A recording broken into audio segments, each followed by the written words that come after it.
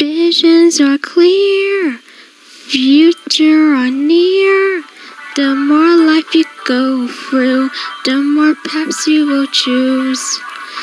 Visions are clear, futures are near. The more life you go through, the more paths you will choose. You had reaped what you sown, you had learned what you have known. There is no difference, there's always intelligence. Eyes are on the prize, you run through those lies. The cracks will soon close, you can succeed, who knows? Don't give up on what you wish, because you shall accomplish. You may die, but you will rise. Full of phantoms, fast affairs among you worms and tenuems. Our world can be a dark place, but it's also be filled with love and grace. So don't stop, don't turn around. Cause soon your dignity is crowned. Just believe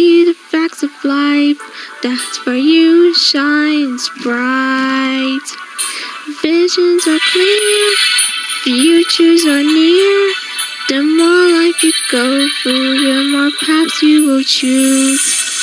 Visions are visions clear, are clear. Futures are futures near. are near. The more life you go, the more life you go through, the more paths you will choose.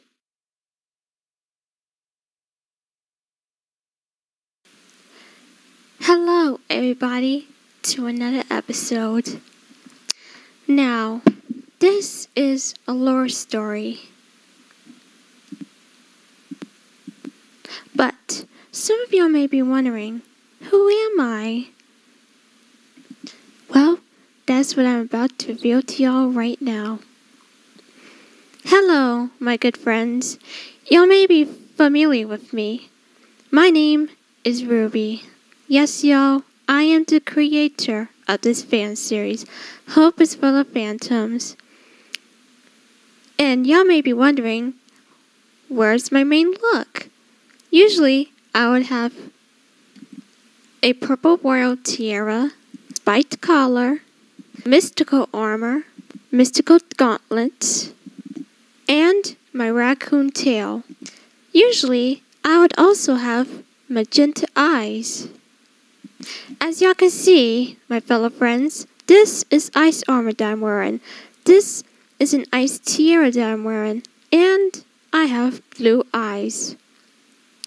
So, many of y'all have been wondering, Ruby, what had happened to you? Well, the answer was in the very last episode of season one. That's right, my fellow friends. Fractal Fiery Turtle. But a lot of y'all may be saying that Fractal Fiery Turtle is with Rose, not me. Well, in the fan series, he is. Let me give you a logical sense of me in the fan series. I was a normal phantom. Purple blood, to be precise, that's why my pattern is purple, not red, or any other color, just purple. And as y'all can see, I used to have an artifact as my badge, but now I have a paw print on it. Yes, y'all, I had changed into an ice tenuem phantom. I've been a tenuem, but all the ice had taken over me now. But that's for another story. I am going to tell y'all a true story about Miss Princess Daisy Ashley Moon. We all know Daisy Moon. Daisy Ashley Moon, the princess of the Jammerverse. And we know her friend Billy. Billy was known as Billy Crenshaw, the son, the foster son of Todd Tidwell, the naval army colonel of Jamaa, who fights phantoms. So, we all know what the answer to this question is. Why did Todd Tidwell abuse Billy Crenshaw like he did? The proper answer was that Billy Crenshaw was a phantom rights activist or a person who supported the phantoms. Todd Tidwell was a phantom fighter, therefore he had forbidden him to be interested in phantom like stuff, like Phasma comics that Paco Phasma himself had created, an inspiration of his life. We all know the true story of Billy Crenshaw, how he ran away to Ellipse Enigmato Fiery Turtle, Fractal Fiery Turtle, how he had gotten morphed into an Emanguum, or a morphed or immortal Phasmaphera, and went to Imangua, the island of snakes, and there he became a prince to Lady Rosalia and the Emanguas. Our hook is that this school, Pop Bantam Academy, is where Billy Crenshaw had enrolled at. This school in particular accepts all phantoms and jammers, all equally. We also know that in the past episodes, Daisy Ashley Moon and Billy Crenshaw were being bullied and beat up by Taylor Alice Correa. That's right, her middle name is Alice, like Ellipse's friend Allison, the one that bullied him in school for his tendinitis. Now, the reason why I added this is because, you know, Alice is a schoolgirl's name, and I thought it might fit Taylor Correa. And it's also an Easter egg to remind everyone of Life is Full of Fantasy character and this ridiculous character, Allison the Monkey.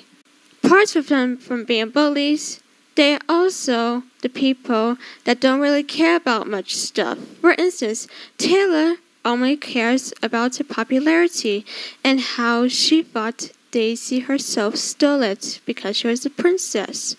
Allison, on the other hand, she didn't like Ellipse T. Therefore, she bullied him.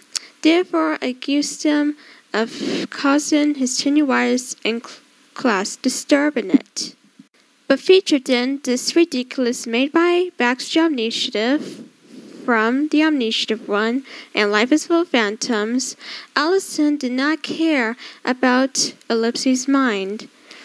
And she did not, and it's because she did not want to be ordered or controlled by Miss Initiative any longer. Thus, the Red Dictator tries to put her in character deletion, but therefore, Baxter Initiative got called off and Ellipse's mind was saved. At the end of this is ridiculous. Now, back to Princess Daisy Ashley Moon. We all know she is the Jammer princess of the Jammerverse, along with her mother, Queen Florida Moon. But, according to Season 1, Episode 1 of Hopeless Phantoms, Pretty Princess Crowns will be all gift for it.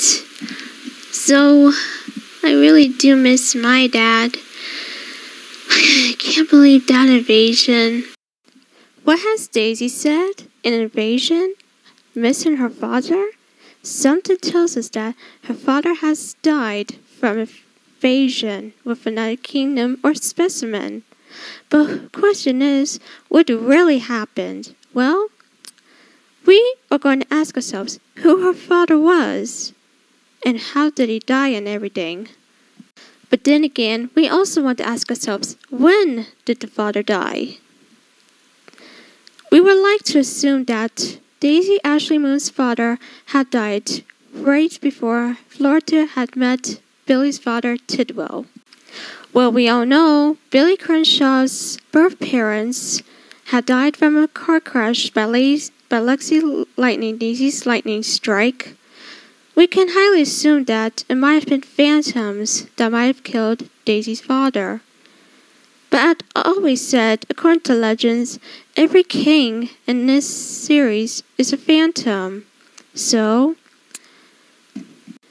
very question is, what jammer would have fought him? Well, logically, we all know Phantopia, the kingdom that got invaded and Rose had drowned into Phasmia right, right when she was Starlight for a while. And as according to the episode, there was this particular person the particular person that Starlight was betrothed to at that time, the one that killed her Jammer sister, well, Phantom sister, and the one who tried to drown her to death. This Jammer in particular hates kingdoms. Therefore, we might conclude that Daisy's father had gotten killed by the same Jammer who killed Starlight, Magifox Fire Turtle's sister, Moonlight. That's right. Question is, why did the person who killed Daisy's father and Princess Moonlight try to kill Starlight? Well, it's completely obvious. Moonlight is Starlight's sister since, and hence they are related. Therefore, the fox tried to kill them both.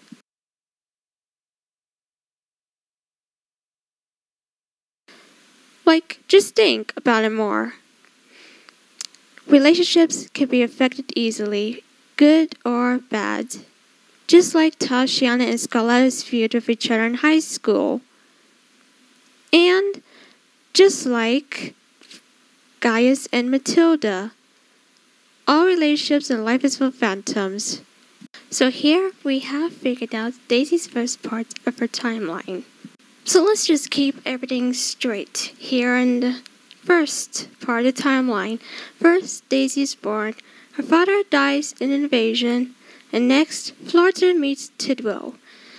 But according to Season 1, Episode 1 of Hopelessville Phantoms, Pretty Princess Crowns, I have no other choice but to actually let the secret out even though he told me not to.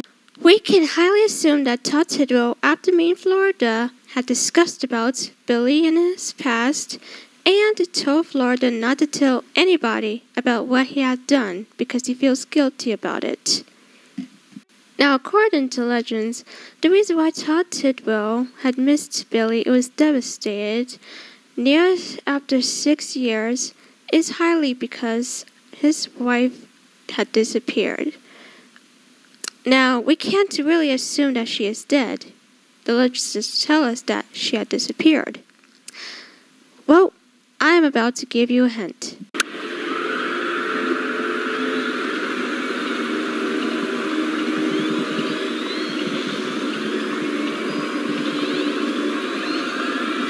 All right, all right, calm down now. I know you're freaking out saying, "What? What? Is that actually her? What? What happened to her? Why is she there?" She and I are in a particular fam- unfamiliar dimension, basically.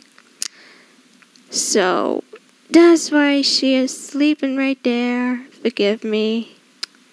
I'm recording this while she is asleep next to me. But as said, we need to go back to the story, so let's just not pay attention and just let her sleep. Just let her sleep, let her sleep. So after Todd unites, well, with Florida, or just meets her, Daisy had thought of Todd as a father that she cared for. Now, to be precise, many of y'all have been knowing one particular trinket, Swift Tidwell.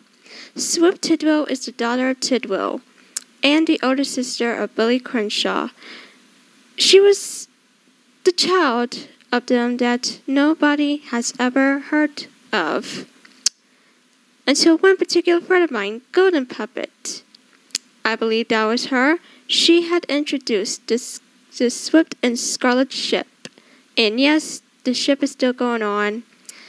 So, during season two, Swoop gets to meet Billy, unite with him, and all that. But we're not there yet. We are actually still in the timeline. But yes, Todd Tidwell had a daughter named Swift. And yes, she cared deeply about Billy, really. So, Daisy, at age 13, had enrolled in Pop Bantam Academy where she had met Taylor, who bullied the shit out of her. And then, as soon as Billy came along, they both got bullied. So, yippee, I mean. So, we had finished another part of the timeline, and now we are currently at where Daisy and Billy got finally beat up by Taylor. And now Billy is mad at Daisy because she has spied on them because she was so worried about Billy. Oh my goodness.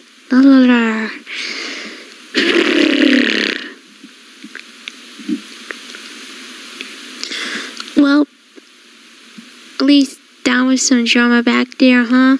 I still can't believe Taylor did that to me. I mean, what did I even do to her? As mom said, you you were friends with me. Wait. You said mom's Were you spying on us? Really? I I oh sh I can't explain. No. I'm sorry? Don't ever do that to me. Don't you know that I would not even know whether you're even hearing us? I cannot believe I was heard from or watched. Me and Florida both. You stalker! Billy, I, I'm sorry. I, I was just so worried about me. hey, I worried about you. God forbid you actually stand up and defend yourself for once. you see, this is why I was with a naval army colonel. And this is why you're a princess. You're supposed to defend yourself like I am. God forbid you, you being a princess. Billy, I, I, I'm sorry. I said, you know what? It was, I had enough. Goodbye, Daisy Ashley Moon. Billy, Billy, I'm sorry.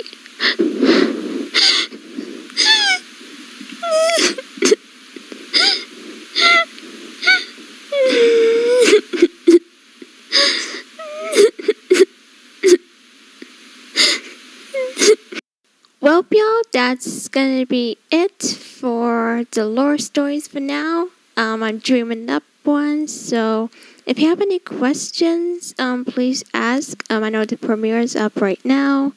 Um, please like, comment, and subscribe. Um, shout out to the crew members. Um, they did their best work at it, so I'll see y'all on the bright side. Stay poppin'.